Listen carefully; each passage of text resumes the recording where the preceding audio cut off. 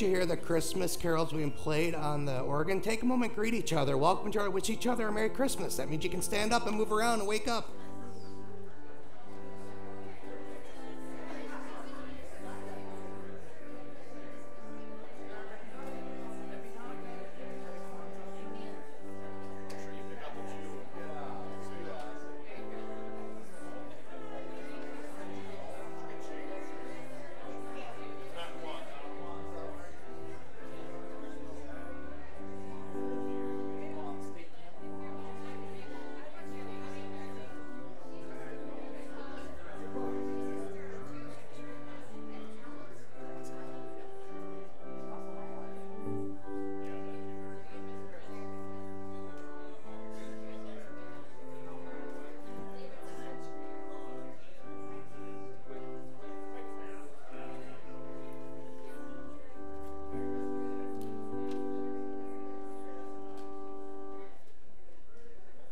As we begin this Christmas service, we are going to follow from the back of the church, the cross going in as we celebrate, and we'll be singing, O Come, All Ye Faithful, as printed for you in your service folder. We welcome you on this Christmas morning, and may God truly bless this time together in His house as we celebrate today as a family.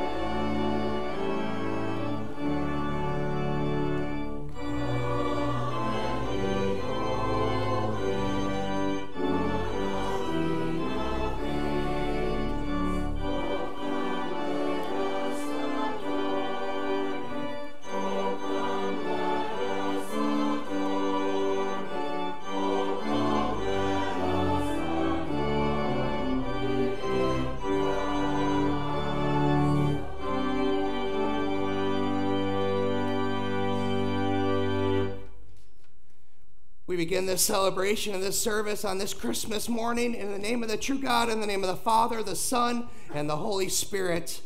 Amen.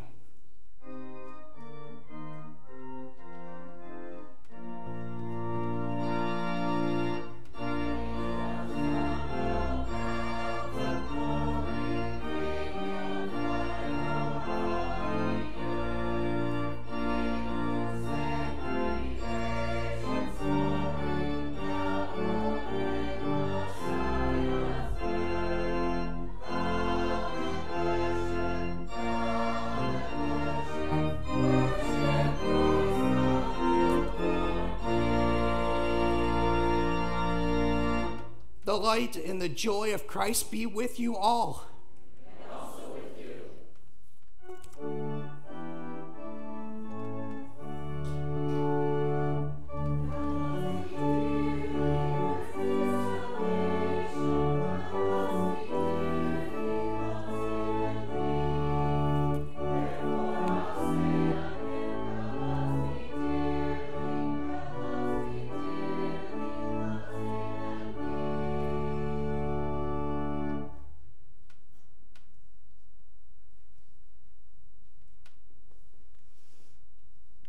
This time, I just invite you to kneel or sit forward in your pew as we take some time to reflect upon our sin and need of God's grace and mercy.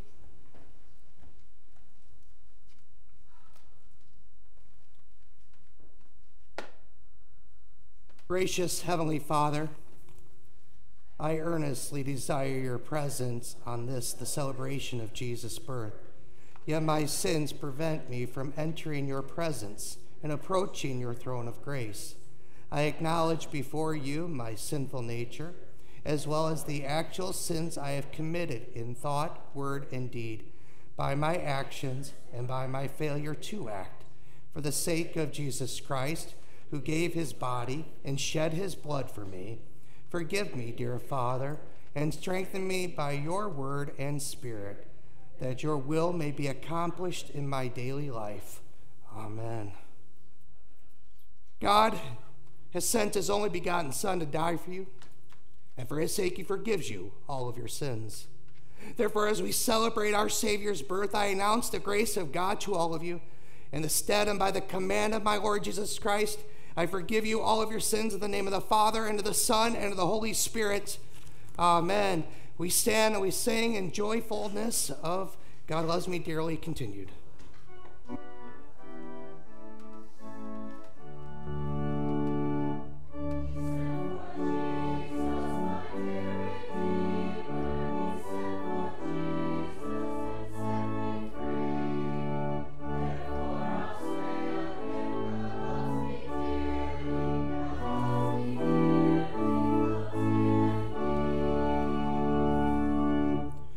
To us a child is born.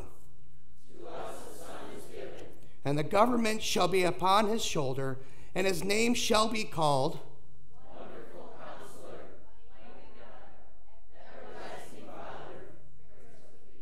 Oh, sing to the Lord a new song, for he has done marvelous things. His right hand and fully arm, have worked salvation for him. the Lord has made known his salvation. He has revealed his righteousness in the sight of the nations.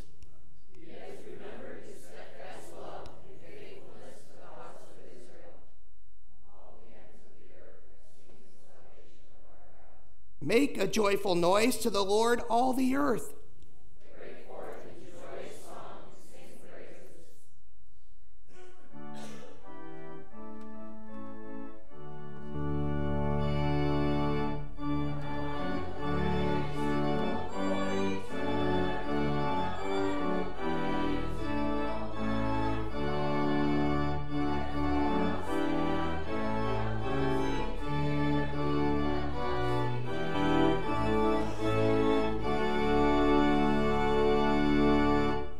Almighty God, grant that the birth of your only begotten Son in the flesh may set us free from the bondage of sin through Jesus Christ, your Son, our Lord, who lives and reigns with you in the Holy Spirit, one God, now and forever.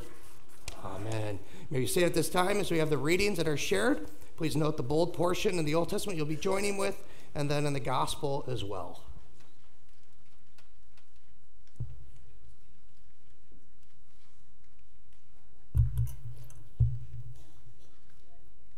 The Old Testament is from Isaiah chapter 9, verses 6 through 7. We read together For to us a child is born, to us a son is given, and the government shall be upon his shoulder, and his name shall be called Wonderful Counselor, Mighty God, Everlasting Father, Prince of Peace. Of the increase of his government and of peace there will be no end. On the throne of David and over his kingdom to establish it and to uphold it with justice and with righteousness from this time forth and forevermore. The zeal of the Lord of hosts will do this. This is the word of the Lord. The epistle is from Galatians chapter 4, verses 3 through 5. In the same way, we also, when we were children, were enslaved to the elementary principles of the world. But when the fullness of time had come, God sent forth his Son, born of woman, born under the law, to redeem those who were under the law, so that we might receive adoption as sons. This is the word of the Lord. Please stand.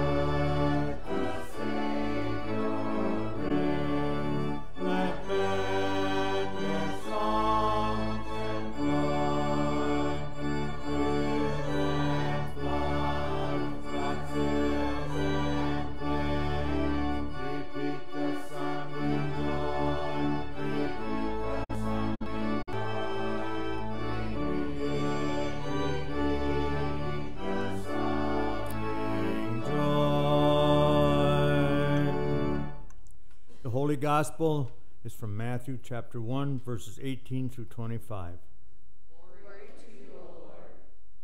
Now, the birth of Jesus Christ took place in this way. When his mother Mary had been betrothed to Joseph, before they came together, she was found to be with child from the Holy Spirit. And her husband Joseph, being a just man and unwilling to put her to shame, resolved to divorce her quietly. But as he considered these things, behold, an angel of the Lord appeared to him in a dream, saying, Joseph, son of David, do not fear to take Mary as your wife, for that which is conceived in her is from the Holy Spirit. She will bear a son, and you shall call his name Jesus, for he will save his people from their sins. All this took place to fulfill what the Lord had spoken by the prophet. Behold, the virgin shall, conceive and bear a son, and they shall call his name Emmanuel, which means God with us. When Joseph woke from sleep, he did as the angel of the Lord commanded him. He took his wife, but knew her not until she had given birth to a son, and he called his name Jesus. This is the gospel of the Lord. Praise to you, O Christ. We profess our faith through the words of the second article in, in the understanding of redemption, being bought back through Jesus Christ and that righteousness that he has given to us. And so we join together. And in Jesus Christ, his only Son, our Lord, who was conceived by the Holy Spirit, born of the Virgin Mary, suffered under Pontius Pilate, was crucified, died, and was buried. He descended into hell. The third day he rose again from the dead he ascended into heaven and sits at the right hand of God the Father Almighty. From thence he will come to judge the living and the dead. What does this mean? I believe that Jesus Christ, true God, begotten of the Father from eternity, and also true man, born of the Virgin Mary, is my Lord, who has redeemed me, a lost and condemned person, purchased and won me from all sins, from death, and from the power of the devil not with gold or silver, but with his holy, precious blood, and with his innocent suffering and death, that I may be his own, and live under him in his kingdom, and serve him in everlasting righteousness, innocence, and blessedness, just as he is risen from the dead, lives and reigns to all eternity. This is most certainly true. May we see it as we sing that hymn, Go Tell It on the Mountain.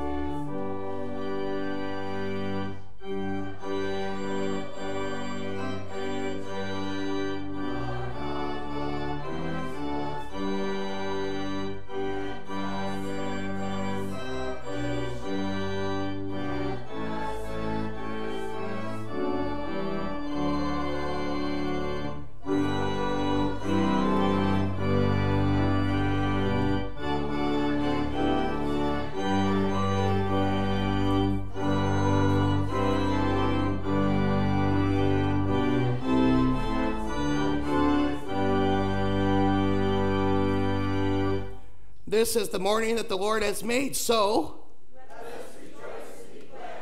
I hope you had your cup of coffee this morning. I hope you're ready to rejoice and celebrate on this Christmas morning. Indeed, the gift of what it is to be in God's house as a faith family in Christ Jesus and to just be here to spend time with the gifts that He has for you and for me. Base of our time together is the gospel reading from the Gospel of John. We've went through the midweek Advent through the Gospel of John. I thought it'd be fitting to continue with that for today as we hear from the Gospel of John, chapter 1, verse 14 through 17. And the Word became flesh and dwelt among us, and we have seen his glory glory as of the only Son from the Father, full of grace and truth. John bore witness about him and cried out, This was he of whom I said, He who comes after me ranks before me because he was before me.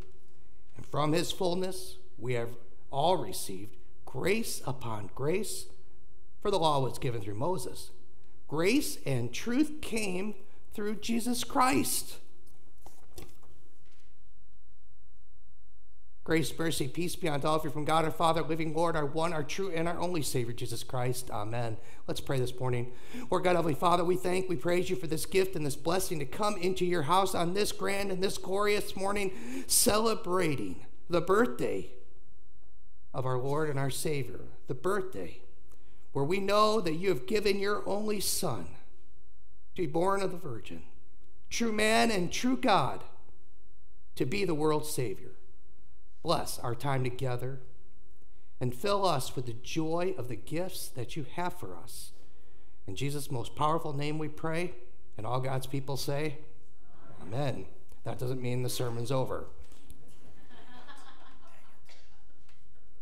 As I said, we started with the understanding that through midweek Advent, we looked at the Gospel of John during the uh, weekend service as we went through the Gospel of Luke, and last night we focused on Luke. And so, fittingly, we tie all of the midweek and, in fact, all about Christmas in these words that John was sharing.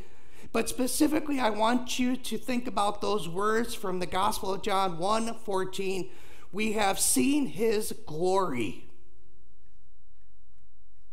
In my life, I have heard some life changing words. Yes, I will marry you. Honey, I'm pregnant. Your first church that you're called to is Spirit Lake, Iowa.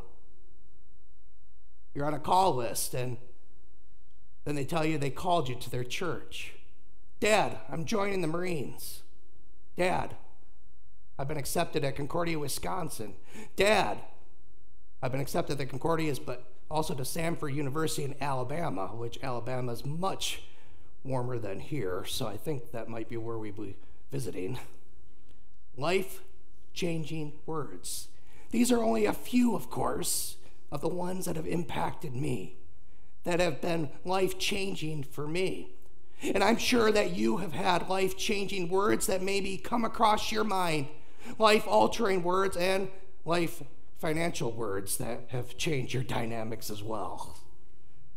Well, today, our gospel, the Gospel of John, chapter 1, 14, shares life changing, life altering, tremendous life word changes to our heart and our life. For we hear these words not just for John sharing, but these are words that John is sharing that every true believer should hold on to. That Jesus, the world Savior, well, we have seen his glory. Because, see, John doesn't say, I glanced, I glimpsed, I previewed, I peeked. John doesn't say, I stand in the back of the room and listen to someone describing who Jesus is. John pulls his bifocals out, his binoculars out. John gets the telescope and the microscope. John focuses with his eyes fixed on Jesus, and John sees Jesus. And see, that's what John would want any of the readers of the scriptures to have. But specifically, that's what the Holy Spirit wants to take with these words into your heart, into your life, especially at this Christmas time, to see Jesus. To see Jesus not only as that cute little baby in the manger, but as shared by John in the gospel in John 1 29, see the Lamb of God who takes away the. In John 1 46, Philip uh, invites Nathanael to Jesus with these words Come and. The Samaritan woman says in John 4 29, Come see a man who told me everything I ever did. On Palm Sunday, John 12 15 says, See, your comes to you. Your what on Palm Sunday? Your Savior, your King. On Easter morning in John 20 18, Mary is beside herself and he shares those words I have seen the Lord. But the blind man in John 9 24 says it best. And he said these words I was blind, but now I was blind, but now I see. Today we see Jesus for who he is. Jesus, the prophet from Galilee, who spoke with authority like none other the Jesus who loved with such childlike humility, the Jesus who was present even at the time of creation and before, the Jesus who is the Alpha and the Omega, the Jesus who is the Prince of Peace, King of Kings, Lord of Lords, and the Jesus who is our Emmanuel. Today, this Christmas, we echo John. We have seen his. We have seen his. Glory. We have seen his. All right, now you guys are awake. But what's that mean? I mean, his glory. Just what is his glory? It might not be what you think. Because when we hear those words glory, most oftentimes we think of beauty, power, majesty, and might. We think of Jesus maybe walking on water, Jesus feeding the 5,000, Jesus raising Lazarus, Jesus healing the sick, cleansing the lepers, making the cripple whole again. Christ's glory. Must mean that he's always walking about an inch above ground. Christ's glory must mean that he's always emitting a glow, a heavenly light. Is that it? Is that really the glory? Well, John's gospel, Christ's supreme and ultimate glory, is recorded in his suffering and death on Palm Sunday, with his face set like flint toward the cross, Jesus says in John 12 23, The hour has come for the Son of Man to be glorified. In the upper room, right after Judas Iscariot leaves to betray him for 30 pieces of silver, Jesus says in John 13 31, Now is the Son of Man glorified. And just before his arrest in the Garden of Gethsemane, Jesus says in John 17 1, Father, the hour has come, glorify your Son. Get it? We have seen his glory, Christ's glory. In John's gospel is his bitter suffering death. And so that he, Jesus, would carry out the greatest gift and be the greatest gift for the entire world through that glory. That includes the understanding of those words of John 3:16. For God so that he that whosoever shall perish. Christmas Jesus, the world's Savior, our Savior, is a blessing of the child of God, where we see that child in the cradle, the birth of Jesus, but know in faith the love and the depth of that love of God, because we know that the cradle of Jesus pointed to the cross that Jesus took for us. Jesus' name means the one who You'll call him Jesus because he's the one who saves. His name will mean the one who saves. We celebrate this Christmas because we know what it points to. The gift as God's children to be able to join with John and be able to, with that faith and that trust, be able to say, like John said, we have seen his What did you get for Christmas? Well, you know what? Maybe you got a gift that you liked, and maybe you got a gift of looking like, why did I get that? what were you thinking, Dad? Yeah, I got a couple of those. But, anyways, that's okay. So, what if you got a gift that doesn't uh, work or doesn't uh, meet the standards or doesn't there? That's just kind of fun getting sometimes of those gifts, right? But today, you get to say with your family that what I got for Christmas is a faith to be able to say that I see His glory.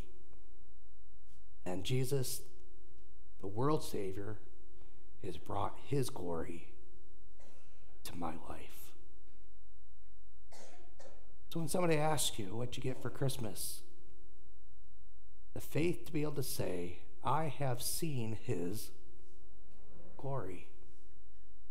Think about that gift. Think about what that means. Think about how long that one will last, and it will be the gift that keeps on giving, not Hallmark. It will be the gift that outlasts the Energizer Bunny because it's His glory and we have seen it. Maybe look with our bifocals, our binoculars, our telescope, our microscope, and fix our eyes on this Jesus, the Son of God. Amen. Peace of God that surpasses understanding, keep our hearts and mind in Christ Jesus both now and forevermore. Amen. Let's stand as we continue with the prayers.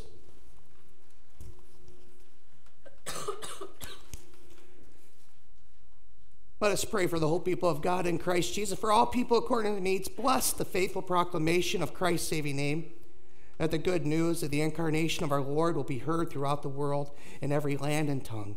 Guard and defend the holy Christian church and all who share in the joy of this day. Lord, in your mercy, bless this your church and its people with a full measure of joy that we may echo the songs of the angel in our churches, homes, and communities. Lord, in your mercy, watch over, bless, protect all who serve, and protect us as we worship.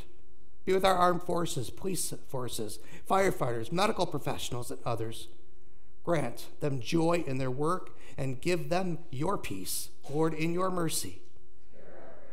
As we celebrate joy in the gift of your Son, O oh Lord, remember before you all those whose hearts are burdened and whose joy is not fulfilled.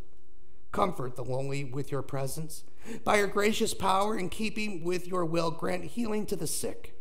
We pray that those whose hearts are burdened with memories of loved ones who are no longer present to celebrate with us this year, that they may find peace and hope in the message of your love, Lord, in your mercy.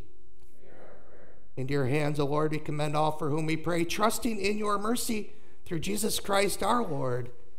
Amen. May we see at this time as the offerings for the Lord's ministry will be um, received at this time. Please note that the welcome folders are in the pew, and probably with the Christmas Eve services, they are still in there. So if you draw a line after the Christmas Eve and, and write 1225 and then names after that, that'd be greatly appreciated. And thank you for all of you for being here.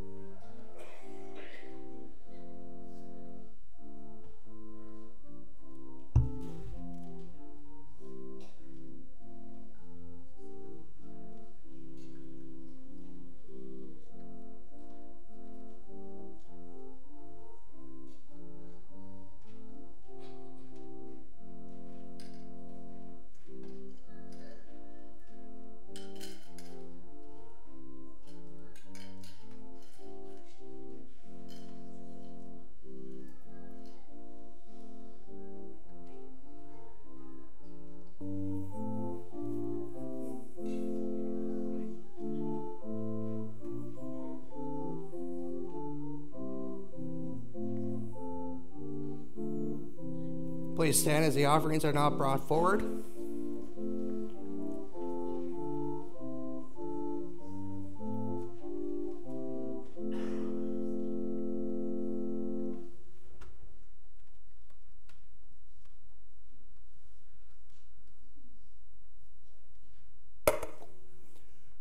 Gracious Father in heaven, on this Christmas day, we come, we celebrate the gift of indeed we have seen the glory of your Son, Jesus Christ and what that means for us, both now and eternally, through the Savior. We respond with our gifts. And we give back to you, O Lord, and ask that you would bless all that is here being returned for this your ministry to keep proclaiming and sharing the message of Christ, the message of salvation, the message of your glory. In your name we pray and ask your blessing. Amen. Continue on page six as we prepare now to have the gift of the Lord's Supper, the true body and blood of Christ, and with this bread and wine to give to us the gifts that keeps on giving forgiveness, life, and salvation through Christ. The Lord be with you. Lift up your hearts. Let us give thanks to the Lord our God. It is truly good, right, salutary. We should all times and at all places give thanks to you, O Lord, our God, King of all creation, for you have had mercy on us and given your only begotten Son, that whoever believes in him should not perish but have eternal life. Grant us your Spirit, grace, Father, that we may give heed to the testament of your Son in true faith, and above all, firmly take to heart the words with which Christ gives to us his body and blood for our forgiveness by your grace, lead us to remember and give thanks for the boundless love which He manifests to us when, by pouring out His precious blood, He saved us from a righteous wrath and from sin, death, and hell. Grant that we may receive the bread and wine that is His body and blood as a gift, guarantee, and pledge of His salvation. Graciously receive our prayers, deliver and preserve us. To alone, O Father, be all glory, honor, and worship, with the Son and Holy Spirit, one God, now and forever. Amen. Lord, remember us in your kingdom and teach us to pray. Our Father, who art in heaven, hallowed be thy name. Thy kingdom come, thy will be done, on earth as it is in heaven. Give us this day our daily bread, and forgive us our trespasses, as we forgive those who trespass against us. And lead us not in temptation, but deliver us from evil. For thine is the kingdom, and the power, and the glory, forever and ever. Our Lord Jesus Christ, on the night in which he was betrayed, took bread. And when he had given thanks, he broke it, gave it to the disciples, and said, Take, eat. This is my body, which is given for you. This do in remembrance of me. In the same way, also, he took the cup after supper. And when he had given thanks, he gave them, saying, Drink of it, all of you. This cup is a New Testament in my blood, which is shed for you for the forgiveness of sins. This do as often you drink it in remembrance of me. The peace of our Lord will be with you always. Amen. We speak together. O Christ, thou Lamb of God, that takest away the sin of the world, have mercy on us. O Christ, thou Lamb of God, that takest away the sin of the world, have mercy upon us. O Christ, thou Lamb of God, that takest away the sin of the world, grant us thy peace. Amen. Have you seated at this time to prepare for the Lord's Supper?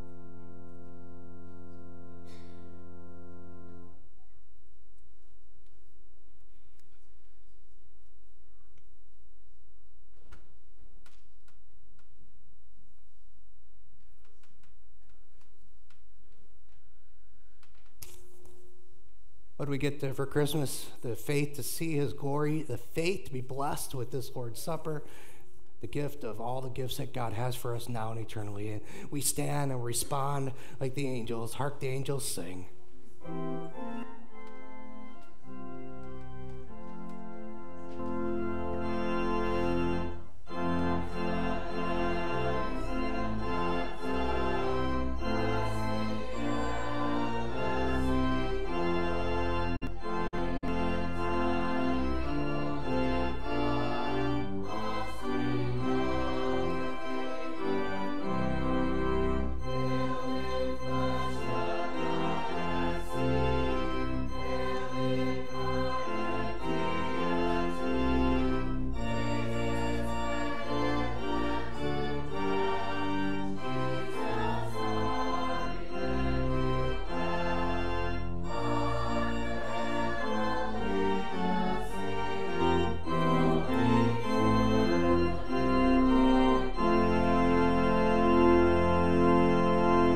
We praise you, Lord God, for the gifts of forgiveness, life, and salvation that we have received through the very body and blood of your gift of love through Jesus Christ our Lord.